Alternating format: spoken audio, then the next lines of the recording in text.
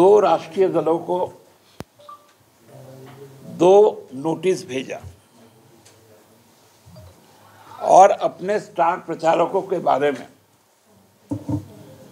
स्पष्टीकरण मांगा। ये पहली बार इस परंपरा की शुरुआत चुनाव आयोग ने क्योंकि इसमें नाम जो एक है, वो प्रधानमंत्री नरेंद्र मोदी जी का है। इसलिए चुनाव आयोग को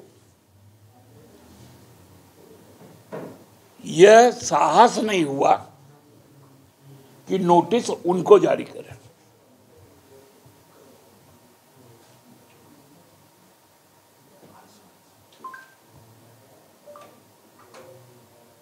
अजीब स्थिति है जब चुनाव की प्रक्रिया शुरू हुई। उसके बाद पहला नोटिस जारी हुआ कांग्रेस की प्रवक्ता को। उनसे स्पष्टीकरण मांगा गया। दूसरा, भाजपा के एक बंगाल के नेता बाई नेम दिलीप घोष, जो वर्तमान में सांसद भी और कांग्रेस प्रवक्ता सुप्रिया श्रीनर जी। लेकिन आखिर क्या कारण कि चुनाव आयोग नरेंद्र दामोदर दास मोदी,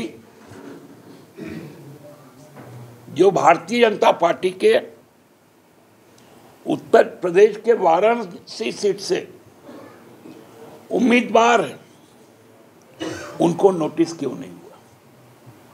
यह बहुत बड़ा सवाल है। यह साधारण सवाल नहीं है। क्या चुनाव आयोग दंत विहीन हो गया? और केवल और केवल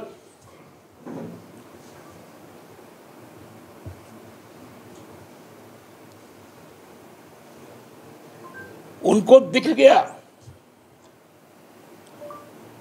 कि शिवसेना का जो एक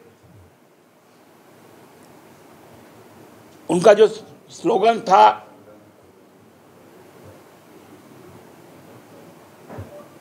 उस पर उनकी आपत्ति हो गई।